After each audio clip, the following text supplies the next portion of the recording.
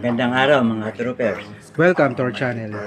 Bago ang lahat, shoutout muna kay Joyce Ann Tolentino from Milan, Italy. Pa-shoutout na din kay Jojo De Los Santos ng San Francisco, California.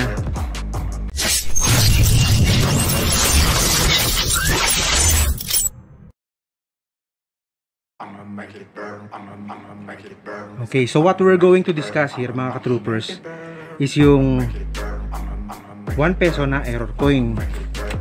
So anong composition ito? Ang composition to ay nickel-plated steel na may reverse ni General Altemio Ricarte. At ang reverse naman, silhouette of an eagle. Yun. So mga, ka- mga ka-troopers, ang error nito ay retained CAD error. So may excess metal siya. Ibig sabihin nun is a marginal die break that has not fallen out. In other words, the die fragment though completely detached from the intact portion of the die. O, tignan niyo yung litrato. Pakita ko sa inyo. Nakikita ninyo yung letter U, di ba? May excess metal siya na nakakonekta sa P tsaka sa I. Also, meron din sa salita sa word na general. Ito naman, tignan niyo yung picture. So, may sobrang metal siya. CAD error siya kung tutusin.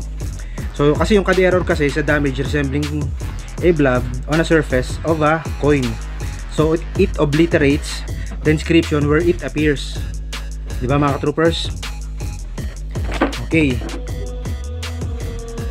Di ba, kapag nakikita ninyo, Mas mahal kapag kita ng naked eye, naked ay yung, yung, ano, yung error. para sa ka, kailangan pang gamitan ng ano ng magnifying Oh, glass. yon so nagets ninyo. Yo, Kapag ka nakikita ng mata ninyo, ng naked eye ninyo yung mismong error dun sa coin, Mas mas, mahal yun. mahal siya.